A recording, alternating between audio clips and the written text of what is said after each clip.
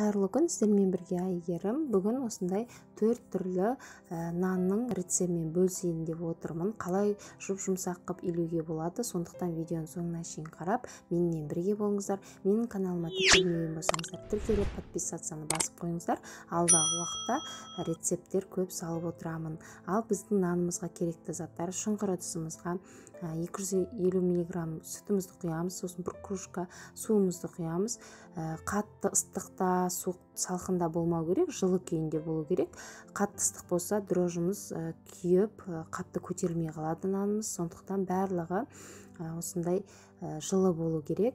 Сметана қостым мен қаймақ сіздер қаймақ қоссаңыздар да қоспасаңыздар да болады.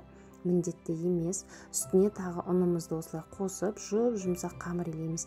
Қатты қылып илеп тастамаңыздар қатты қылсаңыздар дұрыс жөнді көтерілмей қалатын болады.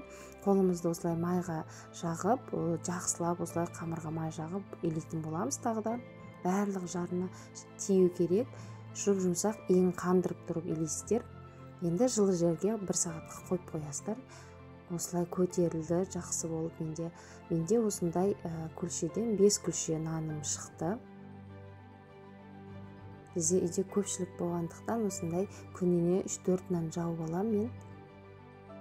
Жақсылап осылай ә, өзім қатты ә, басып зуала қылмай қойыңыздар. Осылай мен көп видеода көрсеткендей қылып зуала қылып қойып қойсаңыздар болады. Бір жиырма минутқа жақсы көтеріледі. Бетін міндетті түрде жауып қойыңыздар әйтпесе қаязып қалады. Көрдіңіздер ғой керемет болып көтерілді. Енді қазір ә, сіздерге форма көрсететін боламын. Төрт түрлі бірінші нанымызға осындай ә, форма келтіресіздер. Жан жағын осылай саусағыңызбен баса отырып ортасын басасыз жақсылап екі шетін бірақ баспайсыз қараңыз. Осылай. Және осындай ә, жүргізіп өтесіздер осы қамырдан саусақтарыңызбен қатты басуларыңыз керек. Міндетті түрде әйтпесе бір жер көтеріліп бір жер көтерілмей қалады. Екінші қамырымызда гүл жасайтын боламыз.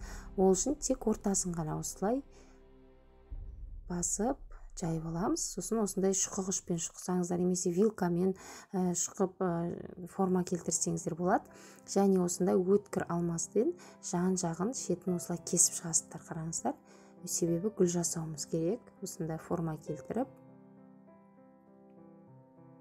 Алмаздарыңыз өткір болу керек. Осындай әдемі гүл шықты бізде. Енді жұмыртқаның сарысын алып жағамыз. Барлық жеріне жеткізіп менде қара күнжут болды. Қара немесе ақ күнжут өздеріңіздің қалауларыңыз бойынша себе бересіздер. Осылай беттерінің барлық жеріне сеуіп шықтым.